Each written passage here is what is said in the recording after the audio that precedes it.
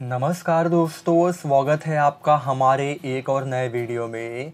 दोस्तों, RCB team के director Mike Hesson ने आरसीबी टीम के दिग्गज खिलाड़ी विराट कोहली और उनके स्क्वाड को लेकर बहुत बड़ा बयान दिया है। तो क्या कुछ कहा है हेसन ने? इसके बारे में ही सारी जानकारी मैं आपको आगे इस वीडियो में देने वाला हूँ।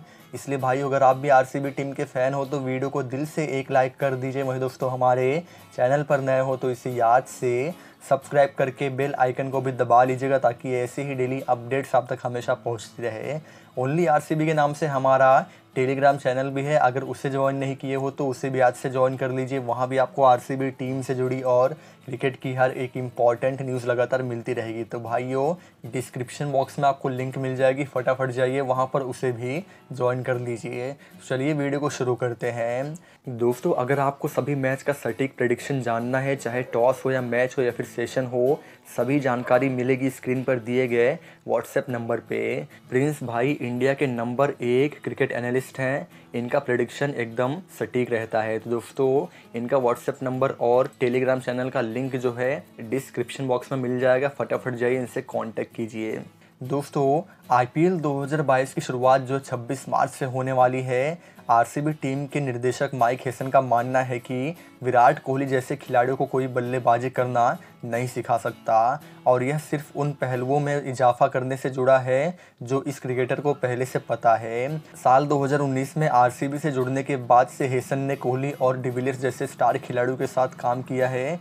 कोहली जैसे खिलाड़ियों के साथ काम करने के संदर्भ में हेसन ने कहा कि निश्चित तौर पर आप उन्हें नहीं बता सकते कि बल्लेबाजी कैसे करनी है। यह अंतिम चीज़ होगी जो आप करोगे। यह सिर्फ़ इतनी सी बात है कि आपको उन पहलुओं में इजाफा करना है जो उन्हें पहले से पता है।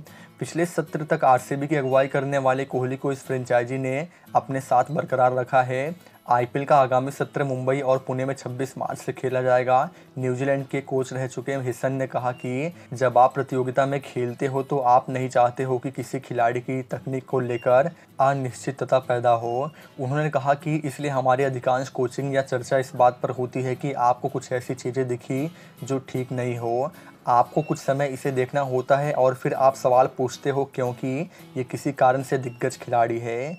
हेसन ने आरसीबी टीम के पॉडकास्ट पर कहा कि, हेसन ने आरसीबी टीम के पॉडकास्ट पर कहा कि, यदि आप खिलाड़ियों के साथ विश्वास बनाते हैं और एक दूसरे के साथ भी तालमेल बना सकते हैं तो मुझे लगता है कि हमारे पास एक ऐसी टीम है जिससे हमें बहुत कुछ सीखने को मिल सकता है।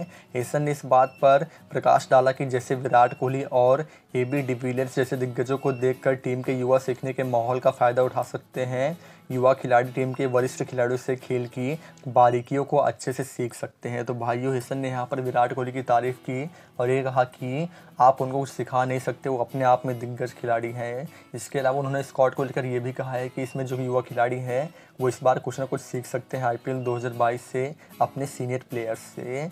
तो भाइयों, आरसीबी की टीम तैयार है।